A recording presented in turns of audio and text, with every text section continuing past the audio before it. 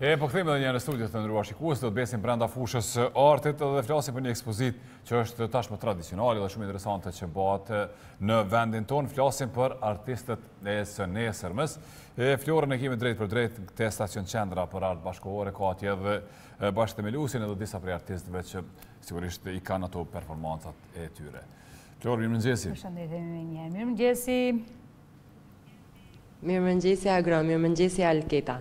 Mirëmëngjesi. Flasim për ekspozitën Ashtu siç e thatë edhe ju, sonte hapet ekspozita Artistët e së nesërmes dhe këtu pranë vetes për të folur më gjerësisht për këtë ekspozitë kam Luiza Thaqin, asistente koordinatore e programit. Sigurisht do bisedojmë edhe dy, me dy artistë të tjerë, mirëpo së pari të flasim për rëndësinë e kësaj ekspozite. Përshëndetje, mirë se keni ardhë. Atëherë kjo ekspozitë është goxha e rëndësishme për vetë faktin se është një format i cili suporton artistët e rinj prej moshës 18 deri në 35 vjeç, edhe e kanë një mundësi për me kalu përmes një procesi tu fillu prej punës kuratoriale, po gjithashtu edhe bisedimet me jurinë, edhe pastaj edhe faza e produksionit, krijimi i veprave të reja, edhe normal me japë hapësirë gjithë atyve që dojnë me me shfaq edhe punën e tyne. Hapja bëhet sonte, ndërsa do të vazhdojë deri në cilën datë? Ekspozita ka me qëndru e hapun deri me dhjetë dhjetor, Po me datën tre dhjetor, masi edhe janë tre finalistë, me datën tre dhjetor shpallet edhe fituesi i çmimit, ku më pas fituesi e fiton një rezidencë dymujore në New York, në Residency Unlimited, edhe kjo gjithashtu është një mundësi shumë e mirë edhe pak a shumë një pjesë e rëndësishme edhe e krejt kësaj procedure. Për të arritur deri tek këto ditë të ekspozitës me këta tre finalistë sigurisht është dashur të punohet edhe shumë. Sa ka qenë e vështirë për të arritur edhe përzgjedhja e këtyre tre finalistëve? Atëherë përzgjedhja gjithmonë bëhet prej një jurie. Stacion Qendra për Art Bashkëkohor merret pastaj veç e suporton edhe procesin, po në përgjithësi vendimet për tre finalistët merren Prej jurisë, Juria përbëhet prej Anne Barlow, Laura Raicovich, Bernhard Rüdiger, Driton Sulejmani, Miljana Dunderiç,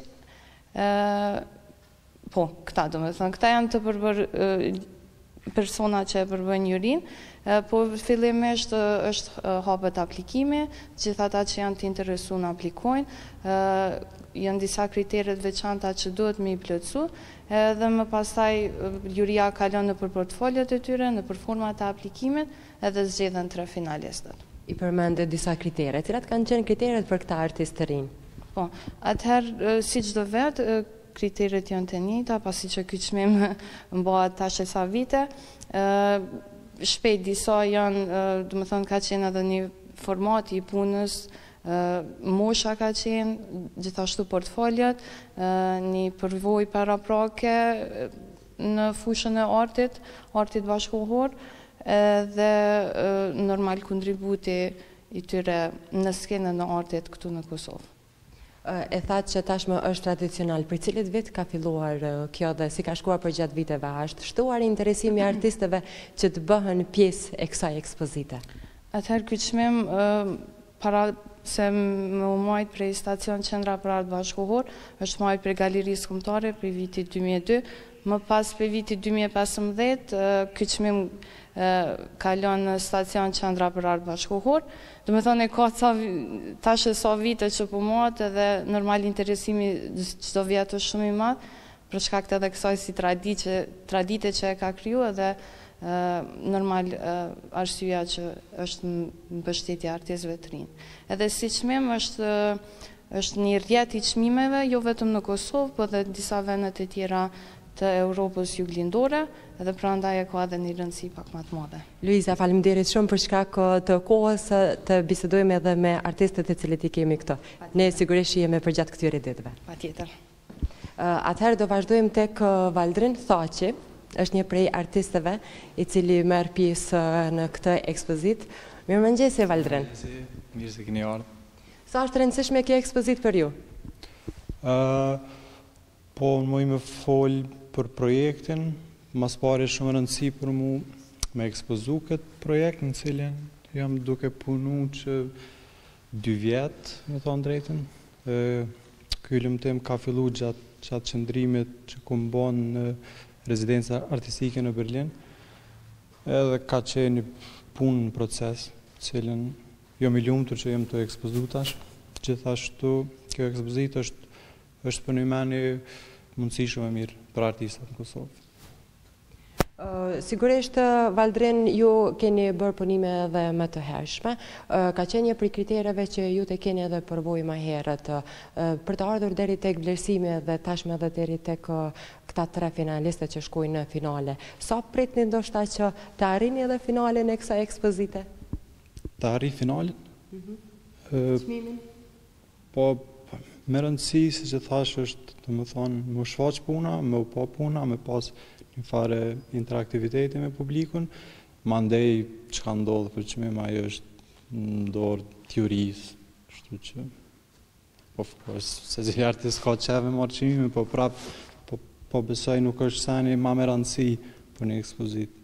Valdrin sigurisht gjatë këtyre ditëve pritni edhe artdashës që vijnë edhe të shohin edhe punimet e juaja.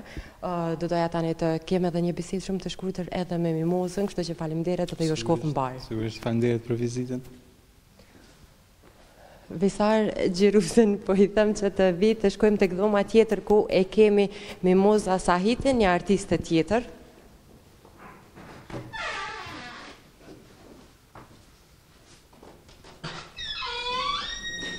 Mirë mëngjesi, Mimoza. Mirë mëngjesi. Këto janë punimet e juaja në këtë dhomë. Po. Çfarë paraqesin?